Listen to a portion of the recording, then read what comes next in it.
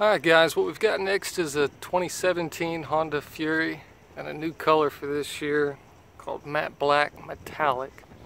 And last year they did a matte gray metallic which was close to it.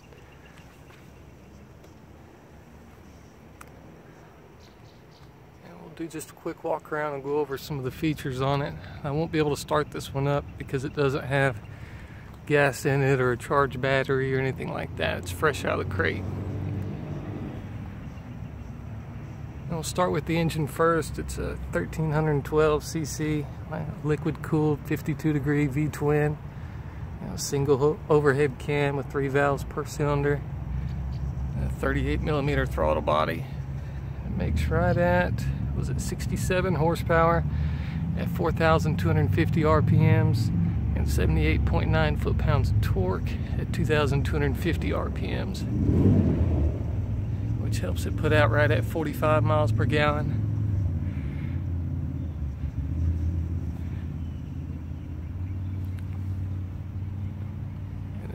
a 3.4 gallon fuel tank.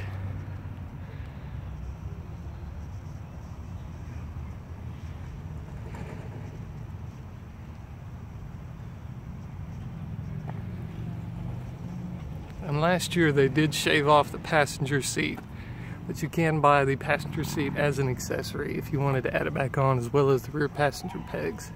Which you can see that normally mount right there. Of course disc brakes front and rear got 200 millimeter wide rear tire.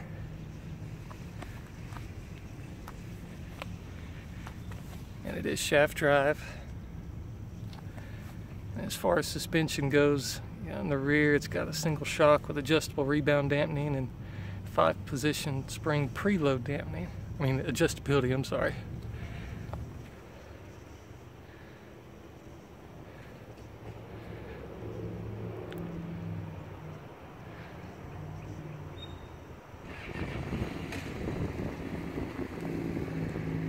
And up front, 45 millimeter front forks.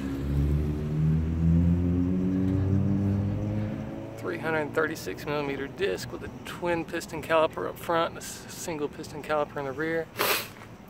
Sorry for all the sniffs, the allergies you drive me crazy with all this pollen, guys. 21 inch front wheel, the 18 inch front or 18 inch rear wheel.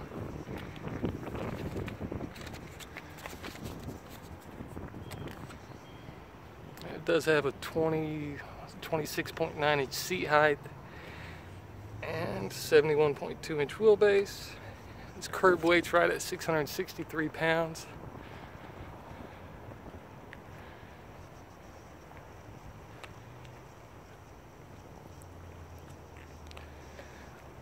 And Honda's MSRP this year's 10299 on the standard model like this. And you can get it with ABS as well. That's right at a thousand more. And you only have one color option for each. You have candy red for the ABS and then this matte black metallic for the non-ABS. If you want to see a detailed review of the specs, a lot of R&D information stripped down to the frame, stuff like that, I've got a detailed review over on HondaProKevin.com. Thanks for checking out the video, guys. If you would, hit that like button and subscribe new videos every week. Thanks, guys.